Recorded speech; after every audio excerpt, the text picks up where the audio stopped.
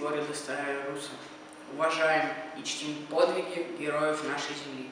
Никифоров Владимир Иванович родился 17 ноября 1924 года в деревне Большой Орех Старорусского района Новгородской области. Участник Великой Отечественной войны с июля 1941 года в неполные 17 лет вчерашний школьник стал партизаном. Осенью 1942 года был назначен начальником штаба второго отряда первой Ленинградской партизанской бригады, а спустя 6 месяцев командиром этого отряда. Непосредственно участвуя в 92 операциях, Владимир Никифоров уничтожил 260 гитлеровцев, пустил под откос 7 вражеских эшелонов. Лично в составе группы взял в плен 63 языка.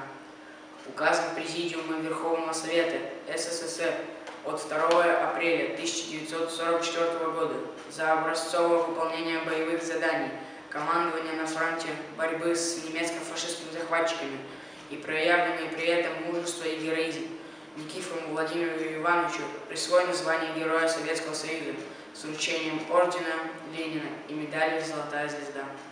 Бюст Владимира Ивановича Никифорова находится в Аллее Славы. Жители города Старая Русы не забудут его подвиг.